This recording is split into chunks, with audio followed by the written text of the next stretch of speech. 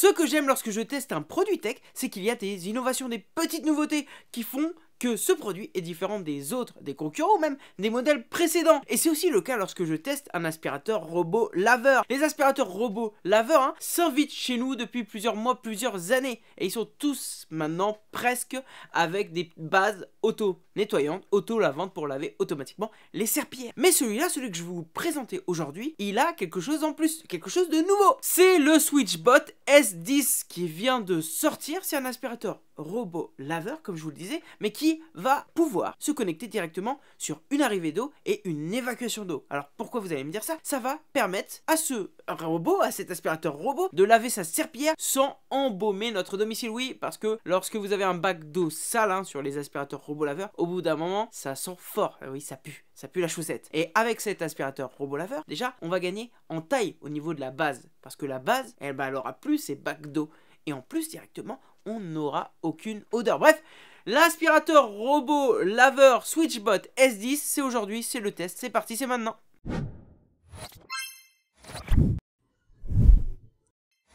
Je ne sais pas si vous connaissez la marque Switchbot, mais c'est une marque plutôt orientée domotique.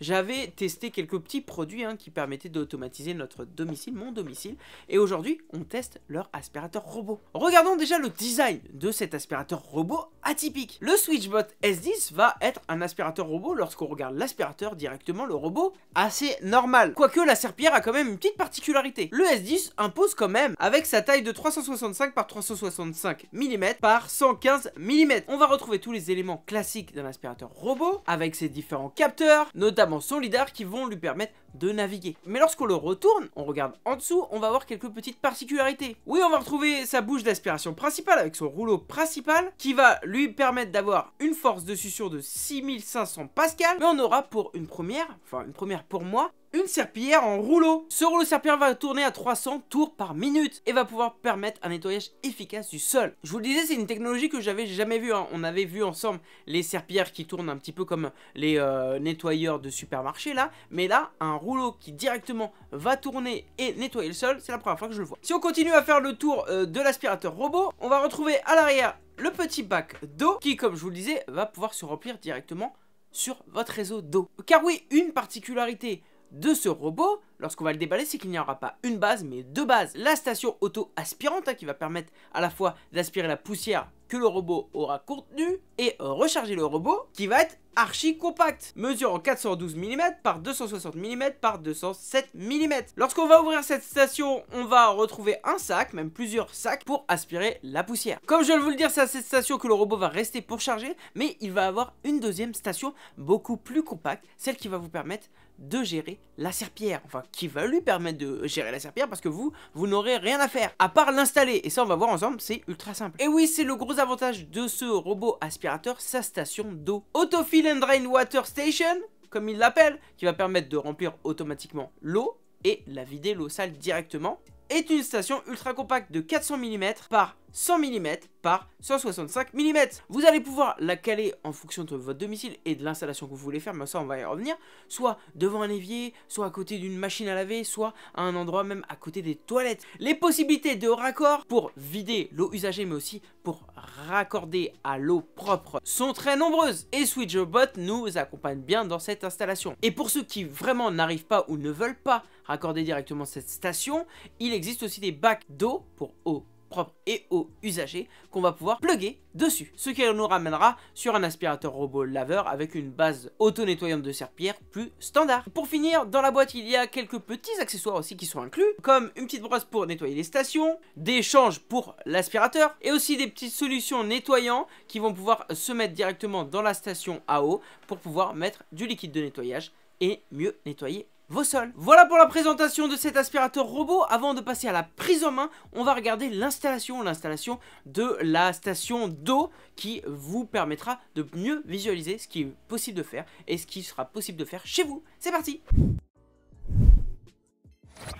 et oui, comme je vous le disais, pour profiter du gros avantage, de la grosse innovation du SwitchBot S10, il va falloir raccorder la station à eau, la station à eau qui va permettre de nettoyer la serpillière directement à vos tuyaux, à vos tuyaux d'évacuation d'eau sale et à votre tuyau d'arrivée d'eau. Et pour ce faire, vous allez avoir plusieurs possibilités, plusieurs endroits qui, normalement, dans un appartement ou une maison, sont disponibles. Et oui, normalement, si vous regardez cette vidéo, vous avez les 99,99% de chances d'avoir une arrivée d'eau chez vous.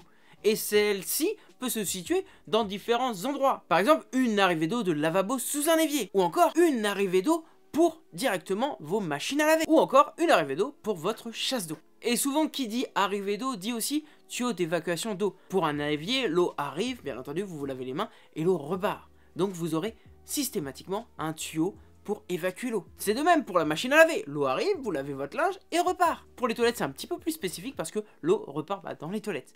Mais dans tous ces cas-là, il va être possible de mettre à côté la station. Moi personnellement, j'ai choisi de mettre ma station directement dans ma buanderie où se retrouvent tous euh, bah, mes appareils de nettoyage machine à laver, sèche-linge, mais aussi aspirateur balai. Et là, j'avais plusieurs possibilités. Les arrivées d'eau de ma machine à laver, les arrivées d'eau de ma chaudière à eau, ou les arrivées d'eau directement de mon lavabo ou de mes toilettes. Moi, j'ai pris directement l'arrivée d'eau de ma machine à laver. Et ça, rien de plus simple. Directement avec le SwitchBot S10, il est donné plusieurs accessoires plusieurs raccords pour pouvoir accorder bah voilà, la station à eau à tout ce que je vous ai énoncé machine à laver, évier, etc. Tout est indiqué en vidéo directement dans la brochure d'installation. Pour ce qui est de l'arrivée d'eau, mon installation a été super simple. J'ai bien entendu coupé un lot, débranché le tuyau de la machine à laver, mis le petit raccord en plus qui va me permettre à la fois de raccorder le tuyau, la machine à laver et aussi le tuyau de la station. Et voilà, c'est fait. On vérifie bien entendu qu'on a bien serré, que rien ne coule, qu'il n'y a pas de fuite. Et c'est là où le savoir-faire domotique aussi de SwitchBot intervient parce qu'il nous donne directement un détecteur de fuite d'eau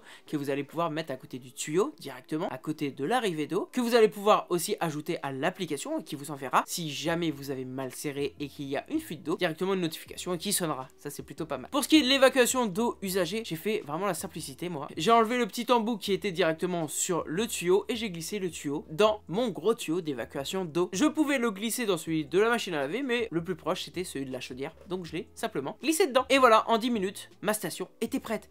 Le gros avantage c'est qu'elle n'a même pas besoin d'être branchée. le remplissage et l'évacuation d'eau se fait directement via l'eau. Il n'y a pas besoin de brancher sur le courant. C'est parfait. Maintenant, passons à la prise en main. Avant de passer à la prise en main, parlons un petit peu des performances de cet aspirateur S10 sur l'aspiration, le lavage. Tout d'abord au niveau des performances d'aspiration, que ce soit pour des petites particules comme du sable, du sel ou de la farine ou des particules un petit peu plus grosses comme du maïs, du riz, le S10 se débrouille plutôt bien. Son balai va aider à guider les résidus dans sa bouche d'aspiration et va permettre aussi d'aller récupérer ce qui est proche des murs. Pour ce qui est du lavage, j'ai fait des tests de lavage en lavage seul, sans aspiration du tout, avec des liquides plutôt collants, plutôt coriaces. Et le S10 se débrouille aussi là très bien. Son premier passage va facilement enlever le trop plein de liquide grâce à sa serpillière Revo Roll. Puis pour les liquides plutôt coriaces, et qui colle, après un lavage de serpillère, vous pourrez le faire revenir, relaver et votre sol sera nickel. Ses performances d'aspiration et de lavage couplées à son évitement d'obstacles va vous permettre d'entretenir un sol propre. Et oui, une fois que vous avez fait cette petite installation, 10 minutes, 15 minutes en fonction de si vous voulez évaluer où est le meilleur endroit pour mettre directement cette station à eau et vous allez pouvoir positionner un autre endroit de votre domicile si vous voulez la station aspirant. Les stations ne sont pas obligatoirement au même endroit, c'est ça qui est vraiment pratique. On démarre l'application SwitchPot, puis on fait bien entendu l'appairage de l'aspirateur. On met l'aspirateur en charge, on l'allume, on fait tous les réglages Wi-Fi et le tour est joué. On se retrouve donc avec l'aspirateur en charge sur notre station aspirante et notre station à eau un peu plus loin où on l'a installé. Et il nous suffit de lancer un premier mapping de notre domicile. Et oui, lorsqu'on va démarrer, l'aspirateur va faire un tour de notre domicile pour pouvoir savoir, bah voilà, où il devra nettoyer les différentes pièces. On va pouvoir bien entendu après, par la suite, personnaliser la carte. À la fin du premier mapping, l'application vous demandera aussi où se situe la station à eau. Comme ça, vous allez pouvoir lui dire et l'appareil après, à un mètre près, pourra la retrouver et bien entendu gérer automatiquement le nettoyage de ses serpillères. Ensuite, pour continuer la prise en main, vous allez pouvoir directement bah, lancer un nettoyage soit par pièce, soit maison entière, soit par zone. À chaque fois, vous allez pouvoir gérer le type d'aspiration, soit aspiration et lavage, soit aspiration. Lorsque vous choisissez bien entendu aspiration et lavage, l'aspirateur va automatiquement aller sur la station d'eau, remplir son eau, faire son petit tour, son petit lavage. Et quand il aura besoin de vider l'eau sale, il retournera à la station eau, videra directement l'eau sale dans votre tuyau de Vous allez pouvoir régler bien entendu la puissance d'aspiration et le niveau d'humidité de la serpillière. Il sera aussi possible lorsque vous allez cliquer sur la base de euh, choisir de laver la serpillière manuellement, de sécher la serpillière ou de vider les poussières. Et dans les paramètres, vous allez pouvoir remarquer la position de la station eau si vous l'avez changé de place, définir le temps de séchage et le mode maintenance ou pas si vous avez ajouté la solution de nettoyage. Lorsqu'on va aller aussi dans les paramètres du robot et pas les paramètres de la base, vous allez pouvoir créer un programme directement. Vous avez fait vos maps, vous créez votre programme. Par exemple, à 14h, tu vas tous les jours, tous les deux jours, nettoyer la cuisine ou la maison entière, etc., etc. Vous allez pouvoir choisir si vous voulez qu'il y ait l'aspiration, silencieuse, pas silencieuse, puissante, et si vous voulez bien entendu que ça lave avec les serpillères. Le robot va pouvoir partir à 14h par rapport à votre programme 14h, 15h, ce que vous avez défini, partir laver tous les jours pour avoir un intérieur propre. Et bien entendu, plus de soucis d'odeur, car il n'aura plus besoin de stocker l'eau sale dans un bac, il va directement l'envoyer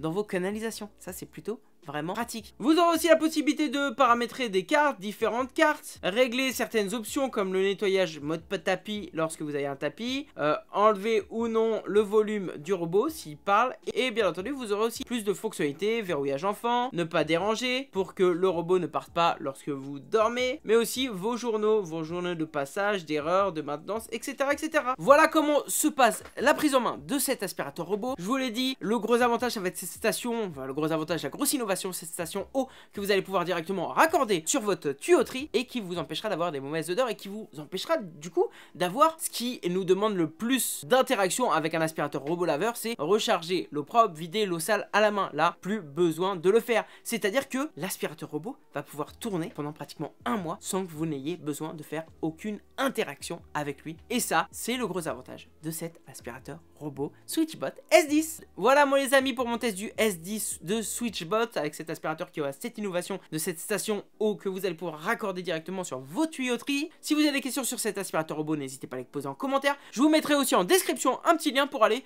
voir ce produit et pourquoi pas l'acheter. Je crois qu'il y a une promotion, je crois qu'il y a 300 euros de promotion. Si j'ai un code promo, je vous le mettrai aussi en description. Merci à SwitchBot de m'avoir envoyé à tester ce produit. En attendant, vivez à fond, vivez high tech. Merci et à bientôt sur ma chaîne.